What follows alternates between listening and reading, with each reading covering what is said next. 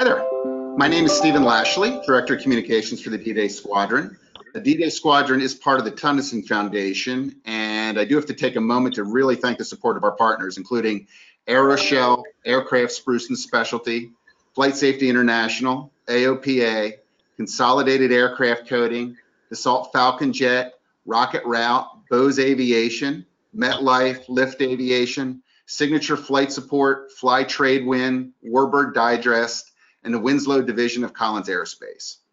Now, I would like to welcome you to a discussion that's coming really at a rather unique point in history. We're going to offer two perspectives today. One is from Dave Hamilton, someone that was there in 1944 at the absolute tip of the spear of the invasion in Normandy. But also, we're going to learn about some of the challenges today in 2019 because the mission of the D-Day Squadron is we're going to bring 70 over 70 year old aircraft across the North Atlantic in time for the uh, 75th anniversary of D-Day. So in light of that, joining us are Eric Zipkin, Andy Maag, and Joe Enzminger. Uh, these are some of the pilots that are launching this effort to uh, bring together the largest formation of C-47s over Normandy that's been seen since the end of the war in order to uh, hopefully pay fitting tribute to uh, veterans like Dave.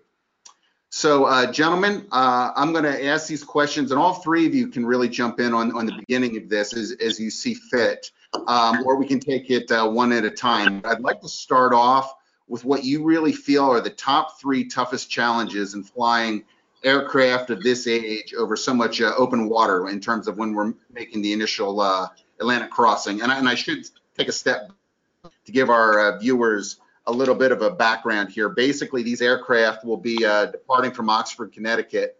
Um, we'll be stopping in Goose Bay, Canada.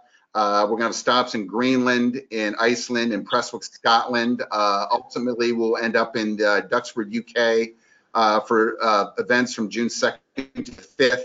Then we're actually crossing, we're joining another group called Daks over Normandy to bring together almost 40 aircraft that are going to be crossing the channel on June 5th. And then from the 5th to the 9th, we're actually going to be in the Normandy area for the uh, commemoration events. So with that, uh, guys, why don't you just talk about what in your mind is some of the, the largest challenges that you see, first of all, in flying over open water, and then we'll get into some other specifics. Well, uh, for, for, today, the, the navigation side is a lot simpler now than than, than in the days of, of, of Mr. Hamilton here. So we have dual GPSs on our plane you know, we pretty much get to follow a magenta line. So that, that part will be fairly simple. We actually have all of the uh, celestial navigation equipment in, in That's All Brother. However, no, none of us know actually how to use it. Um, so navigation's well covered. I'd say some of the tough things, I'll let uh, uh, Joe and Eric chime in as well. Some of the tougher things will be the weather. That'll obviously be the big unknown. Uh, it's a logistical challenge to get through Greenland for us. We'll have, you know, somewhere around 10 planes looking to fly through Greenland. Some of us will skip it. Um, that's all brother and, and, uh, and Placid Lassie Eric's plane will be uh, a couple that will be stopping in Greenland. Um, and they can fuel about one airplane per hour. And so you can imagine the logistical challenge of uh, not bunching up on the ramp while we're there. Okay. Uh, Eric, here, I'll, uh, Joe, do you have any thoughts on that? I'll echo uh, Andy's uh, thoughts about the weather is probably our biggest challenge. Uh, the, um, the, the C-47 DC-3 airplanes are, um, are, are not swift, uh, so uh, we are in down at low altitude and in the weather for a significant period of time. So finding our, our weather window to be able to fly safely across is uh, is probably the biggest challenge. And again, as Andy pointed out, fuel and oil availability because it is a type of fuel that's not readily available throughout the world anymore uh, is a little, is a is a second challenge. Okay, Eric, at a at a high level, um, can you give us just an idea of the scope of this effort of the whole mission, um, just so we can get an idea of? Um, I'm basically just trying to uh, give the give the cliff notes of this this kind of effort and and uh, the massive scale of it. Sure. Uh, so we're looking at approximately uh, 18 aircraft coming from North America to make the crossing over to uh, to the UK for for the commemoration, and then we've got approximately 20 aircraft coming from various parts throughout uh, various parts of Europe uh, to join us there. So you're talking about each one of those airplanes burns about 100 gallons of avgas per hour.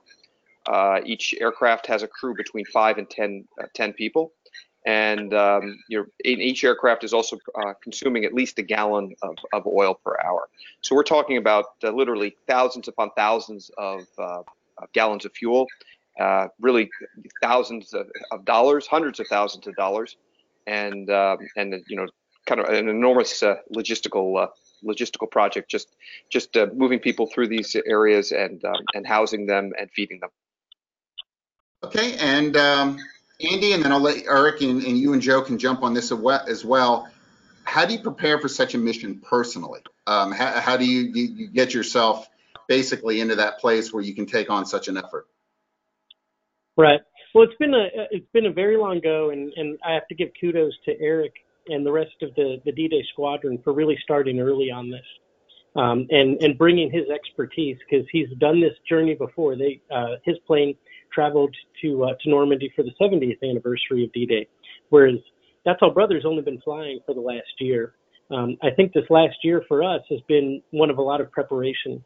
Um, you know, getting the plane back into working order. When it first flew a little over a year ago, it didn't have the correct paint job. None of the interior was fitted out, and and for the history of this plane, we wanted to give it the, you know, the full treatment to honor all the veterans, uh, such as Mr. Hamilton here, who who, who bravely flew and jumped out of that plane uh, so many years ago. So a lot of restoration work has gone on. Specifically for the crossing, uh, we've acquired um, obviously the necessary survival gear and done survival training. So some of the preparations we've done, our crews went up to Oklahoma City to take part in the uh, water survival and basic survival courses uh, taught by the FAA. Um, it's good you actually get in the water, you get from the water into the life raft and all that stuff. The only thing they don't simulate, uh, that water is about 85 degrees. You could take a bath in it, and uh, that if you know if, if push came to shove, and we all certainly hope it, it will not, and the DC the, the C-47 will fly just really great on one engine.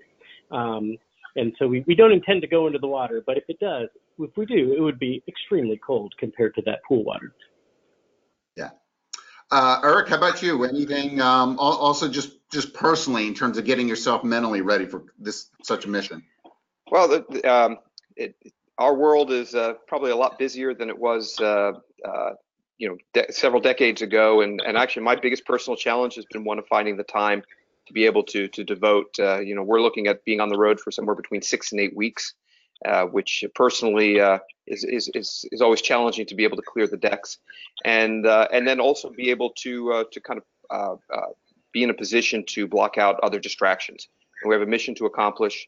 We have we have it, it's a very serious mission, both from a historical standpoint and from just from a pure practical standpoint. So being able to focus 110% on that is probably the most most challenging challenging thing personally.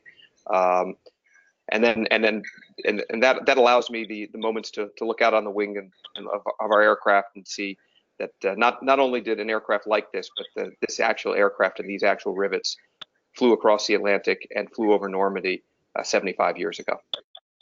That, that's a great segue, Joe. Let me uh, jump to you. Um, what do you how do is it to fly an aircraft with this much history behind it, and and and and also basically the um, technical challenges of flying a C-47 compared to more modern aircraft that many pilots may be used to?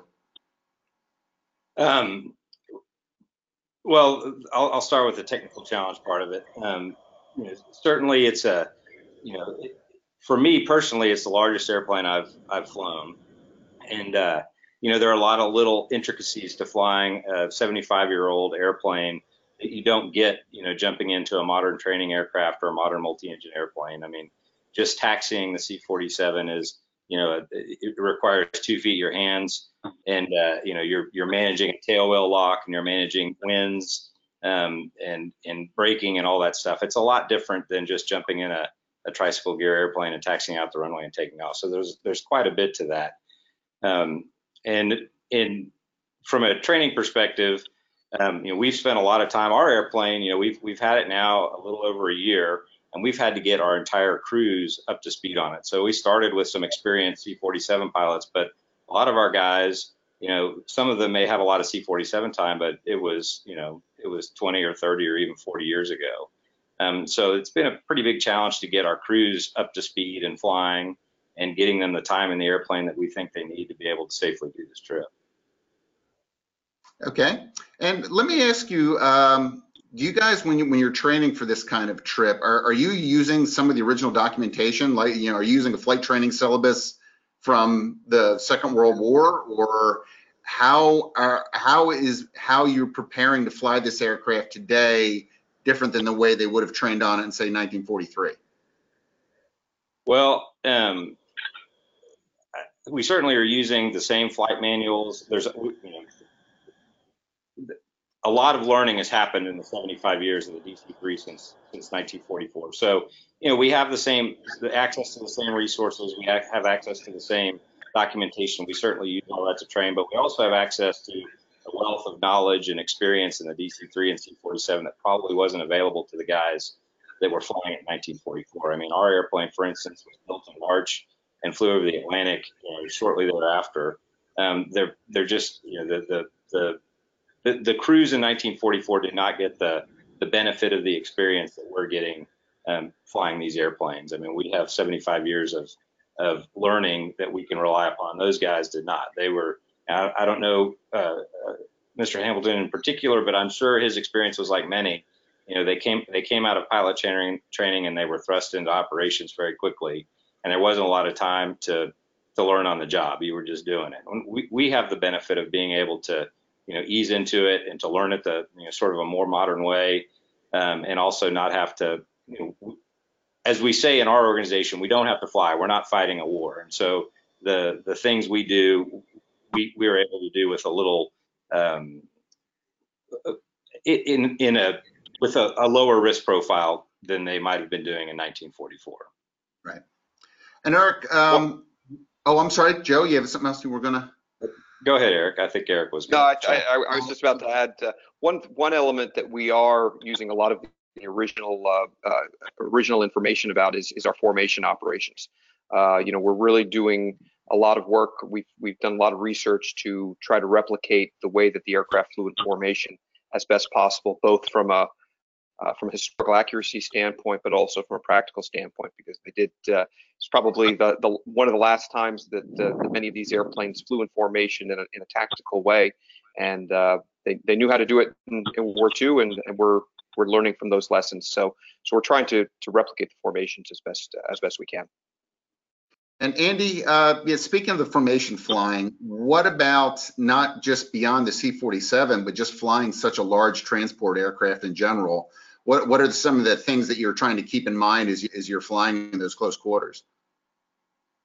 So the I, think the the, the old uh, Navy saying is that big boats turn slowly, um, and you you certainly have that effect in the C-47 when you're flying formation, um, you know, versus flying in a in a lighter plane like a T-6 or something like that, or a plane in which you would learn to fly formation. So the C-47 you have to plan very far ahead. So if you are out of position and adding power to close things, you need to back off power uh, very early before you, you know, you're in position and you're always having to think, you know, two steps ahead of the plane, um, just because you have a lot of mass and you don't like to make sudden um, throttle changes.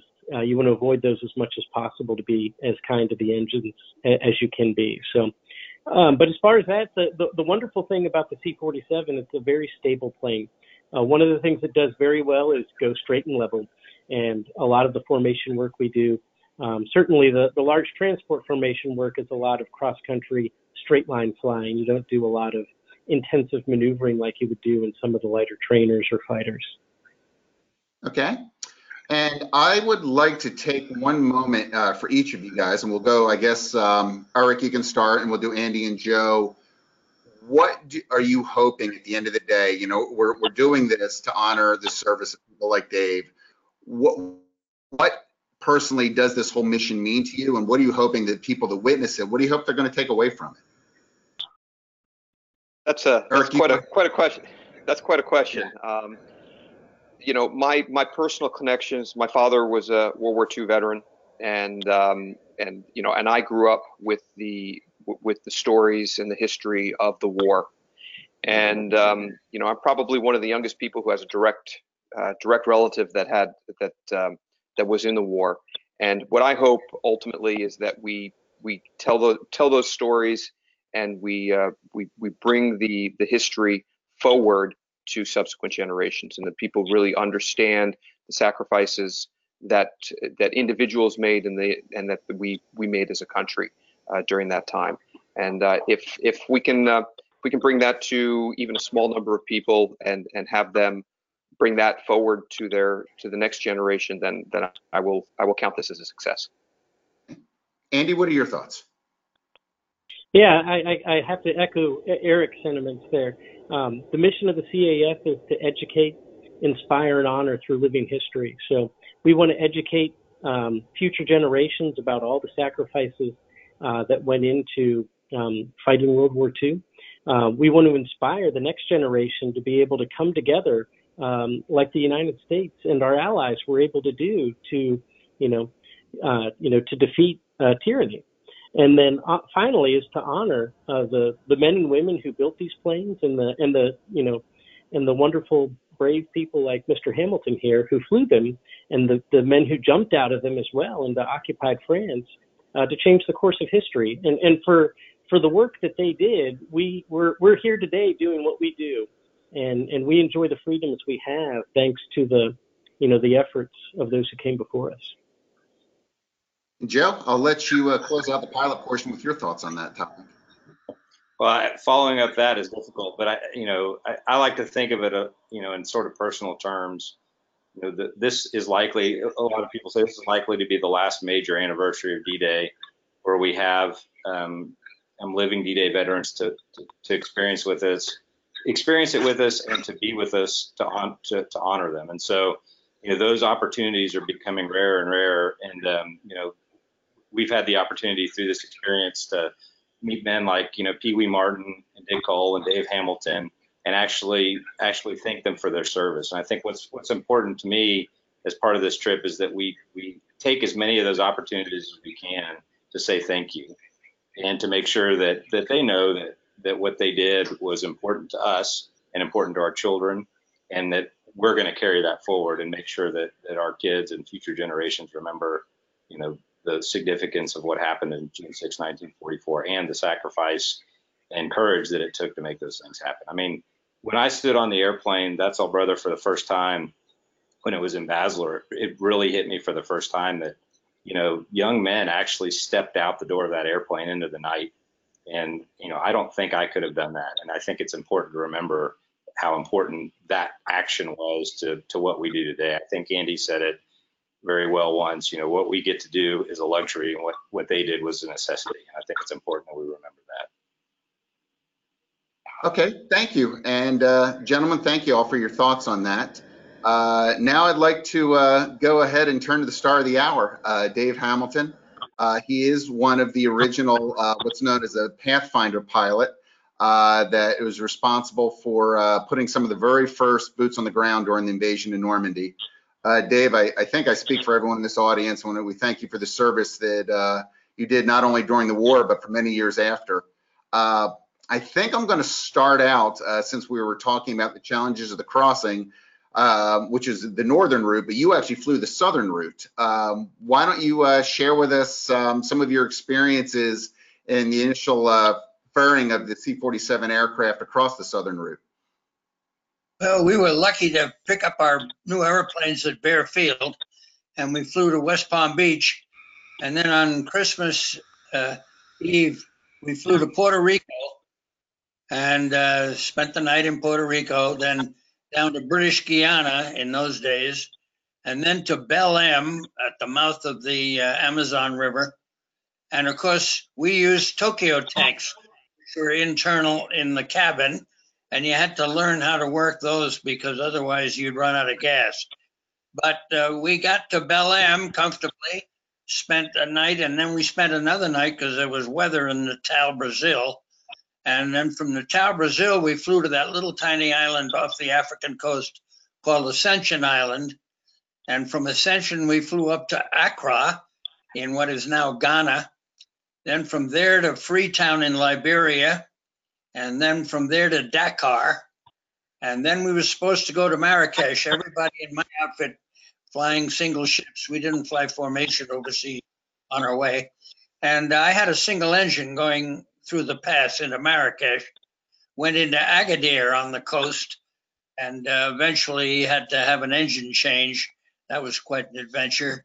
And then I eventually went up to uh, Casablanca to get the plane credited off. And then to Bottesford in England, uh, up Meridian number four, and uh, went up to Bottesford. And I was in Bottesford for about a month and a week uh, when the colonel called me in and said, uh, You've been recommended by your squadron commander to go to Pathfinders. Well, I knew a little bit about Pathfinders reading about the Royal Air Force because they were the ones that developed pathfinding for their night bombing. And they had a lot of radar that we didn't have. But we eventually had it all in our C 47s. And it was amazing to have a $100,000 airplane with 400 or $500,000 worth of radar in it. And the only guns we had were the 45 I carried under my arm and the submachine gun, of the Thompson, that my crew chief was issued. And uh, on the ground, our planes were guarded by dogs. And if we were at a foreign base or a base other than our home base, we uh, had our crew chief or a member of the crew stand by the door with the gun. It was uh, it was interesting. One of the requirements uh, I didn't want to correct Andy, but one of the requirements in the Pathfinders was aircraft commanders had to drop in practice with the stick that they were going to drop in combat, the stick being the 18 paratroopers they carried. Uh, this was quite an adventure, and uh, General Gavin of the 82nd Airborne was so pleased with it that he gave all of us the uh, parachute bug, and he pinned it on in the fashion uh, that was traditional uh, with a lot of force. And in some cases, it brought a little blood to the surface, but very far away from the heart. Anyhow, I very wear my wings and my parachute bug with great pride, and also my parachute, uh, Pathfinder parachute insignia on my left sleeve, which uh, is Wow. indicative of a Pathfinder aircraft commander and co-pilot, navigator, and crew members, all Pathfinders. And we were 20 crews going into Normandy. 10 of us went down to south of France for Operation Dragoon. And then we came up and we were sent individually to the different troop carrier groups for the invasion of Holland, or Montgomery's mistake, as it was known in the American services. The last time I flew combat was uh, taking 27 uh, Pathfinder aircraft because we were enlarged, our table of organization being provisional. We eventually had four squadrons and we inducted a lot of new people, did a lot of training.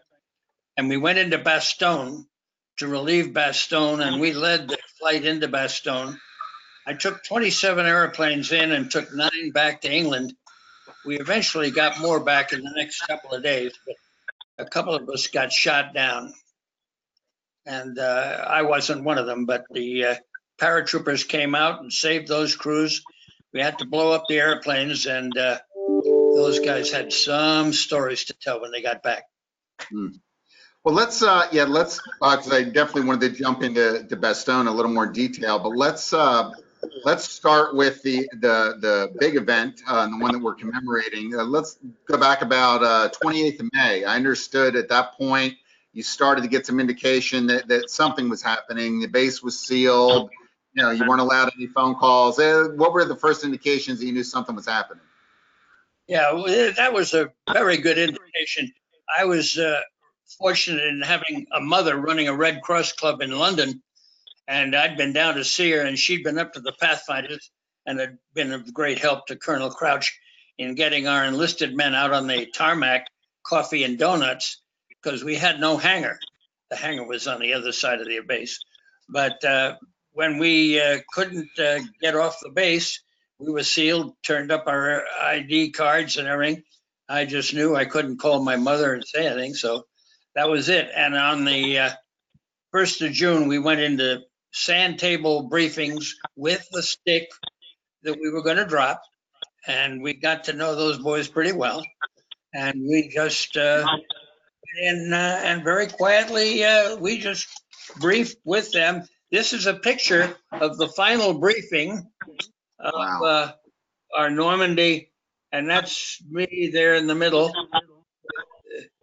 My flight leader, Pete Miner, closest to the camera.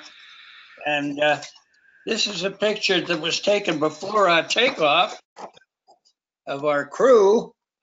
And uh, we did have a intelligence observer, uh, Captain McElroy from the 9th Air Force troop carrier, and he flew along as a passenger on my Normandy run, which uh, I think probably scared the hell out of it because uh, we got quite a lot of 25 caliber bullets in our airplane. We just dropped our troops, uh, according to my uh, navigator, right on the button, midnight. And uh, we had a cloud cover, which broke up our formation a little bit. And I hit the deck after they got all the static, static lines in. And my co-pilot says, you better lift your right wing. We're going to hit the steeple at Sainte-Mère-Église Church, which I didn't think I wanted to go to church that badly. So we then headed for the island of Marcouf. And I remember being told in the briefings that the island of Marcouf was heavily armed. So I said, well, we just better go over it at the fastest speed we can. I think I was doing about 240 miles an hour, which in a C 47 makes it shudder. But that's all right. We got out there, and then finally my navigator said, Come back here a second, Skipper. And I went and took a look at his scope his SCR 717, and it looked like it had the measles. The sea down below was just absolutely filled with ships. You got the picture, you could almost walk from England to France and never hit the water. But uh, I got the co pilot to take a look too, and all the rest of the crew. We got back to England, and because we had been hit by anti aircraft, we lost a wingtip and we also lost part of the magnetos that were shot away up there at the dividing point of the two cockpits and uh, two uh, windshields at the cockpits. So when we landed, the only way we could turn the engines off was to cut the gas, and they were all off. Uh, the crew and I was sitting up in the cockpit waiting for the engines to starve, filling out the form ones and writing a letter about some of our damage because I put the airplane on a red cross uh, which meant it wasn't able flyable. And uh, four days later, the airplane flew again. They did a wonderful job.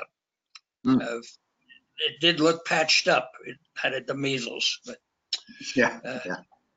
Well, So, so let me ask you, so, um, you're, you were, you know, talking about almost clipping the, uh, Church of Sainte-Mère-Église. When, when you crossed the channel, you were actually flying at about 50 feet, weren't you? Uh, to avoid radar. How, what was your actual altitude when you were, uh, at different points in the mission? Well, we left our base and we were flying at about 12 to 1500 feet going out.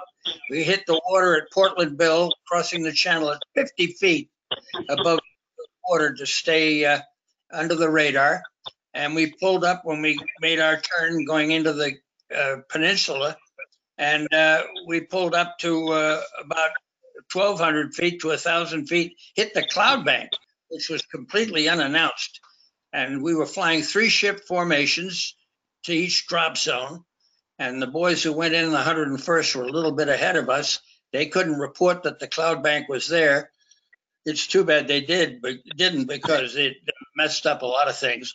I got separated from my lead plane and the right left wing plane, and uh, we dropped 45 seconds separate and uh, didn't know it. But all of our troopers from our flight landed in drop zone T for tear. And that's when we hit the deck and went out the, over the church at Sam Mare and Marcouf Island. But uh, going home, The, the commander broke his both ankles when he landed, I understand it. How, how did the rest of the troopers do? Do you know any, Yeah. uh, how they fared? Sam Quisenberry broke both ankles in a practice jump with his troopers, but he flew the mission and he said, You think I trained like this? He was a sergeant pilot at Pearl Harbor. And he said, You think I'm going to miss this mission because of a couple of broken ankles? You're crazy. So uh, he didn't even tell the colonel. But they were able to get him aboard the plane. He flew the plane and got a distinguished flying cross because he uh, he came back on a single engine. Yeah, he did. Uh, he did quite a job. Four fan Sam, we called him. Hmm. Yeah. So, My and troopers. I heard later that four or eight, between four and eight of my troopers were hit before they hit the ground, and the stick commander, Captain McGill, uh, First Lieutenant McGill, pardon me. He broke both his ankles in the drop. So command of the uh, stick turned over to Charlie Ames, who went, he was a West Point, brand new second lieutenant West Point graduate. And this was his first operation, and he did very well. He ended up uh, as a colonel and took over the control of the Coronado National Forest with headquarters in Tucson. Wow. Yeah. So what, what kind of fire were you taking? I think I heard 25 caliber in there, but I also believe there were, you, you were so low that they couldn't hit you with 88s or anything like that. What, what No, there was- exactly was making the, all those holes? Well, the 25 caliber Schmeisser machine pistol, uh, most of it, we got a wingtip shot off with a 20 millimeter, and that shot in the uh, uh, magnetos was a 20 millimeter, which sprayed a lot of glass and stuff on my co-pilot. But he had a helmet on, and goggles, and the whole thing, so he just brushed it off, and he wasn't even couldn't put in for a Purple Heart, and. Uh, uh, we uh, felt very lucky that that's all we got because there were some planes that got more damage.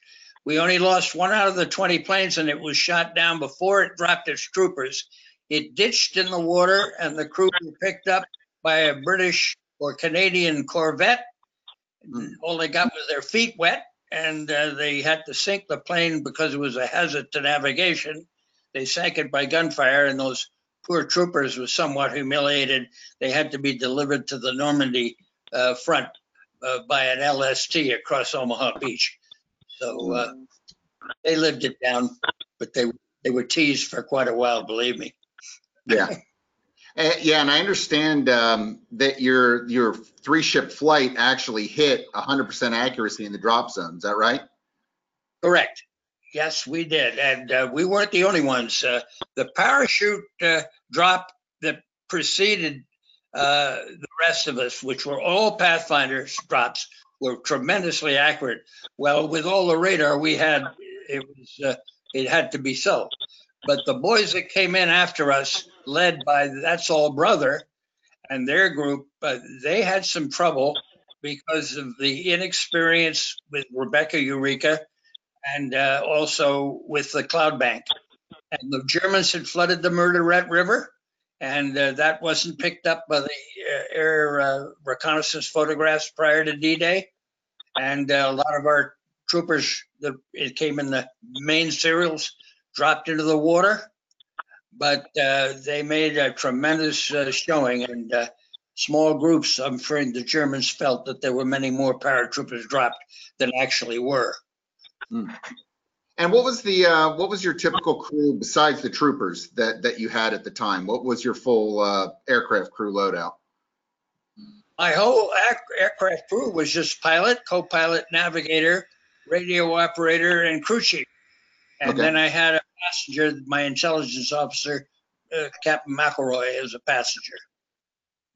And how um how did your navigator? I, I got a note here that your navigator had a special way of timing the uh, drop. Uh, how did he do that?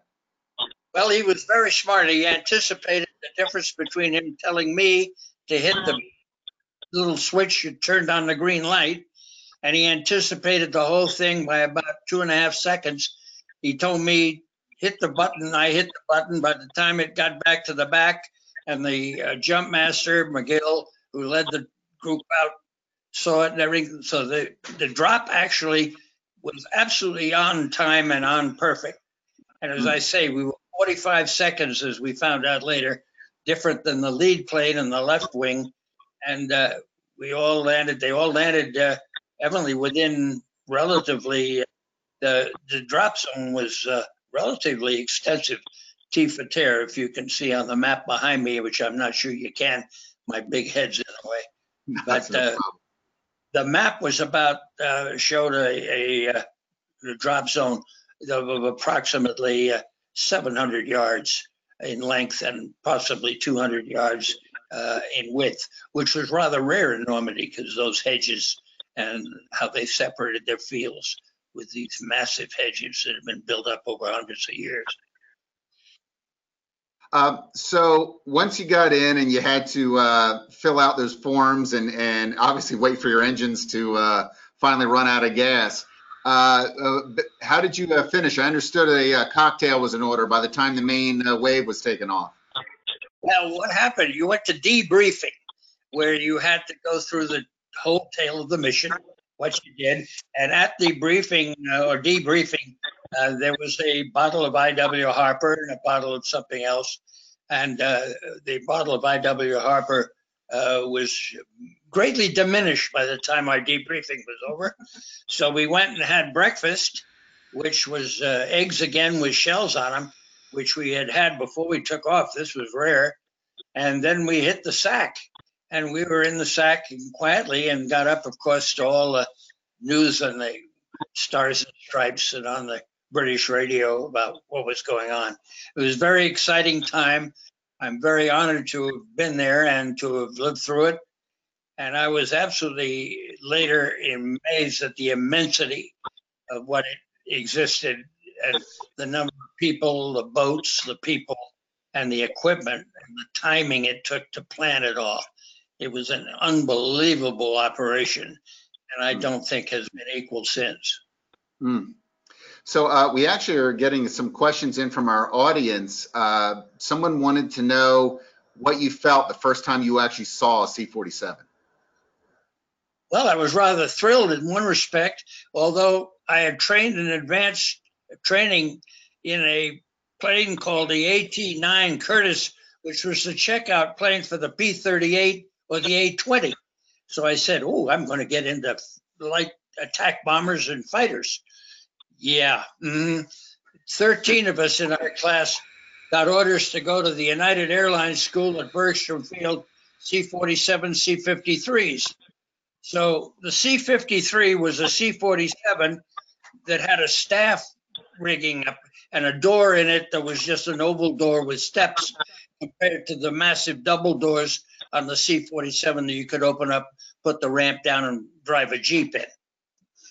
Wow. And uh, how, how old were you exactly when all this was happening, just so we get an idea? I was 21 years old Hmm. and uh, I went to the south of France uh, invasion and I had my 22nd birthday in Rome in July. And uh, that was quite a celebration uh, with a fellow Pathfinder friend of mine, Howard Vos, and a parachute officer, J.J. Smith of the 82nd Airborne, who was an usher at my wedding. Hmm. So uh, what about after D-Day? Uh, you mentioned doing drops in uh, Operation Dragoon in August of 44. Can we get, do we have any uh, stories around that? Yes, but uh, one thing I should tell you about General Eisenhower asked the Pathfinders to set up a service for his headquarters to fly intelligence liaison and logistical liaison officers to the beachhead every day, D plus four on. And we'd leave Northolt in England, Polish fighter squadron base. We had fighter escort, eight o'clock in the morning to the beachhead, leave the beachhead back to Northolt at eight o'clock at night. Double British summertime, you could read a newspaper at 10 o'clock at night. So uh, it was an all daylight operation. Hmm. But we, this is uh, Eisenhower's airline. Is this what you're referring to? Just to clarify for our audience. basically, when I was a second lieutenant, reported to the 436 troop carrier, I flew as a co-pilot for a TWA captain who taught me all kinds of tricks. And uh, I have to credit him with a tremendous amount of what I learned. What, what what were some of the tricks he taught you?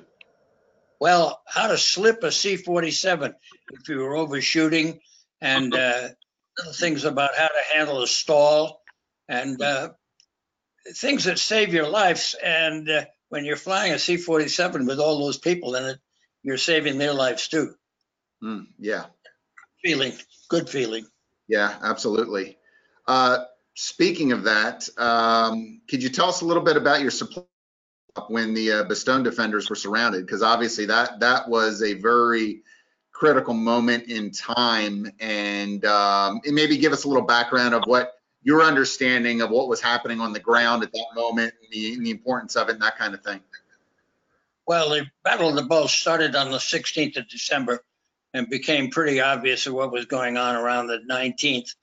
And uh, the 82nd and the 101st Airborne were put in at different edges of the uh, bulge. But we were iced in in England. Uh, there was an ice fog, an ice.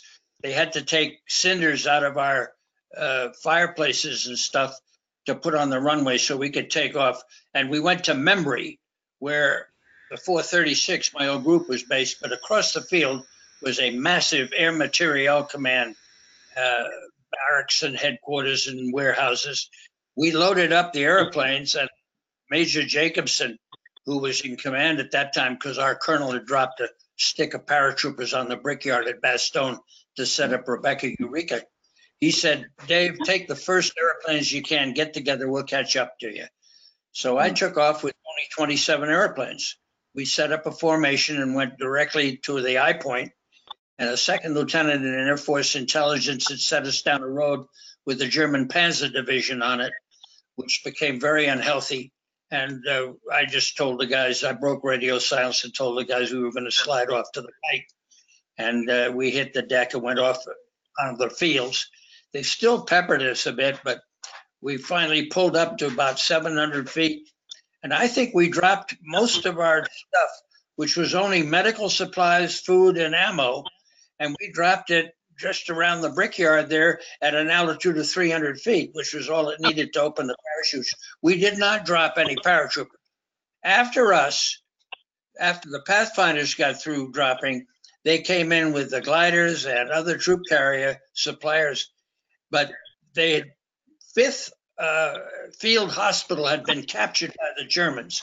So one glider had gone in ahead of us about a day ahead of us and took in three doctors.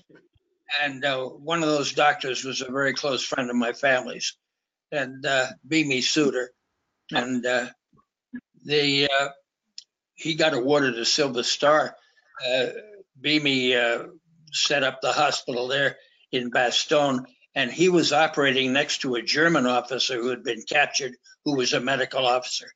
But uh, it was amazing. Uh, that whole operation was mixed with all kinds of different stuff. Stuff, yeah. Uh, I also understood you uh, flew some gas for Patton as well. Yes, we we were flying gas in the jerry cans over to Patton when all of a sudden four B-24s that had been war wearies, taking the guns out and all the armor plate. They were filled with great big black bladders and we flew those over to Patton Tank Farm. And uh, then one of them, unfortunately, had a collision in the air with a fighter. And uh, I lost Pete Miner, who'd been my flight commander in Normandy. And uh, they decided that it really wasn't worthwhile. So we went back. But we would fly gas to Patton. And I met General Patton as a young boy in Hawaii. I hot walked his horses at Polo and I learned to swear at the same time, which pleased, of course, my family tremendously. And uh, then later, my mother was a friend of his wife's, Beatrice Ayer, she was. And uh, when Patton came to England after the slapping incident and all that, he was sort of very quietly, his Third Army headquarters up in Knutsford. And uh, she went up and had dinner with him. She told him that I was flying Pathfinders so when I would deliver gas to General Patton's office, his aide would say, the general would like to see you. And on a more than one occasion, I had the chance to have a, a breakfast or a lunch with him at his mess.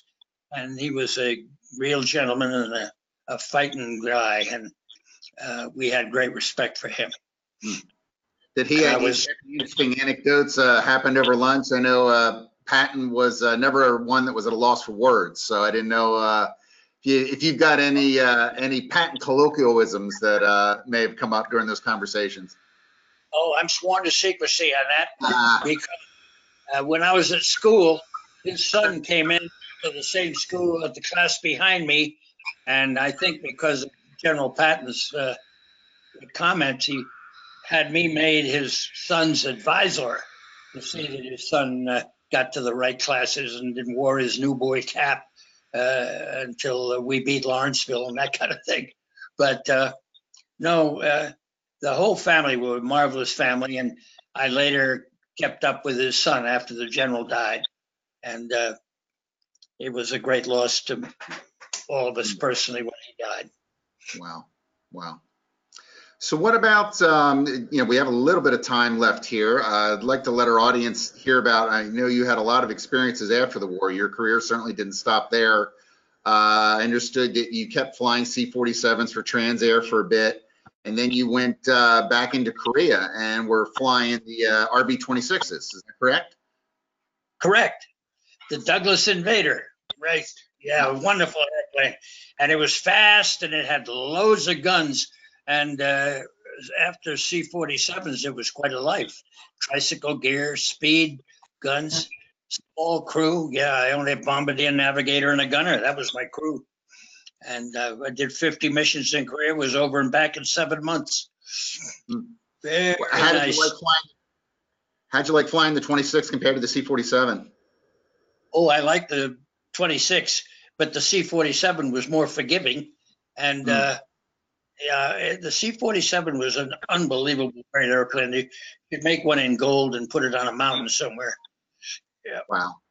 What what did, what did you like the most about it? What really, uh, in terms of its flying characteristics, what stands out to you the most, and, and why it deserves that place on top of the mountain? Well, I think it's stability and the fact that it made air transportation physically and financially possible for the American commercial airlines to operate at a profit, which uh, the Boeing uh, 314 didn't, and uh, some other airplanes. That it just revolutionized air transportation in this country, and the fact that it was re-stressed in the wings and the undercarriage and made into a troop transport and dropped paratroopers and cool gliders and did all this was absolutely remarkable. Great design, great stability, and a very forgiving airplane. Uh, it was a joy to fly on instruments or in clear daylight, comfortable airplane. And uh, you you had to stay with it. Uh, you stay ahead of it. You couldn't get lazy. You couldn't get lazy, in my respect, in any airplane. It's not a place to be lazy. If you want to do that, go to your office and put your feet up on the desk. Ah. Well, uh, speaking of that, so I also understand that um, after the war, you you transitioned from the larger uh, transport aircraft and went to jets, and were you know flying F-80s, F-86s. Uh, what was that like to make that transition from a large transport to a fighter aircraft, and especially a jet fighter aircraft? Well, the first two weeks were a little bit shocking. Uh, my instructor laughed. He said, Hamilton keeps looking for that fan out front. And uh, it, it, took a little change. And uh, eventually I get used to not having to put the torque in on takeoff. And I eventually ended up flying for the 329th Fighter Squadron out of Stewart Air Force Base in Newburgh, New York. And uh, when we transferred from F 86Ds to the 104s, the general came to me and he said, Hamilton, he said, I've got a chair for you and just fits you with elbow pads and the whole works. So I became a staff officer at the end.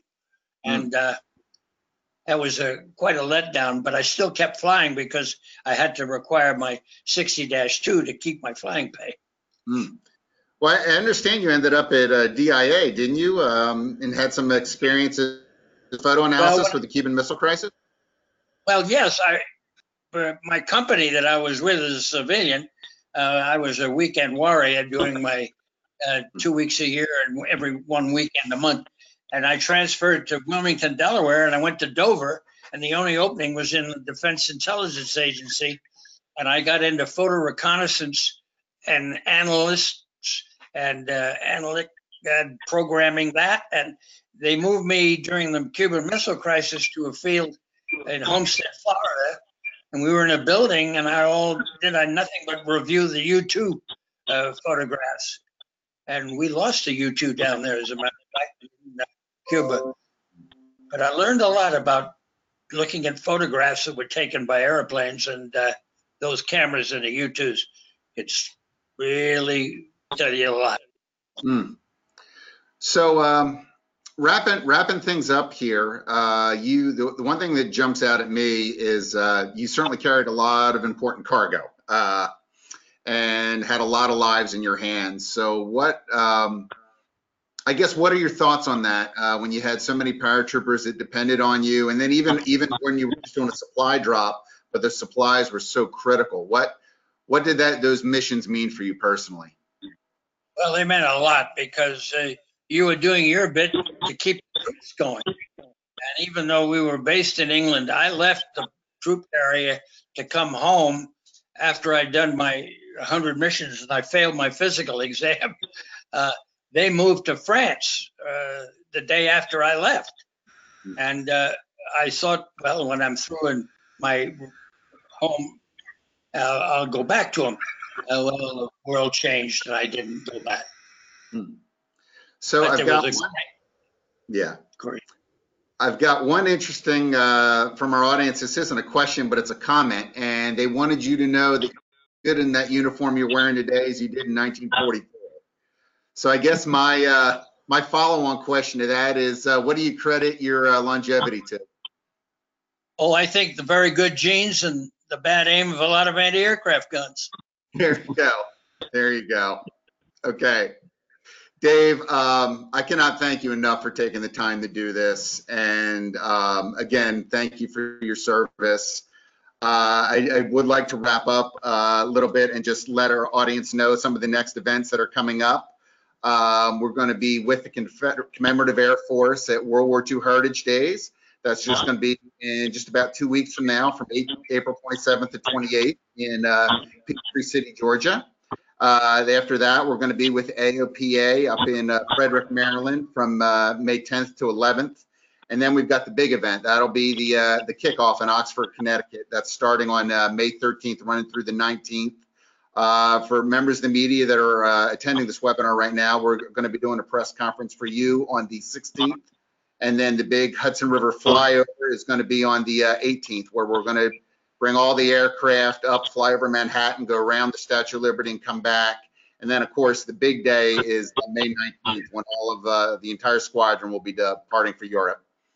So Dave, Eric, Andy, Joe, thank you all so much for taking the time to be here.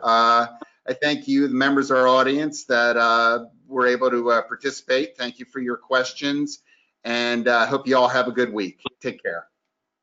Thank you. Thank you. That was easy.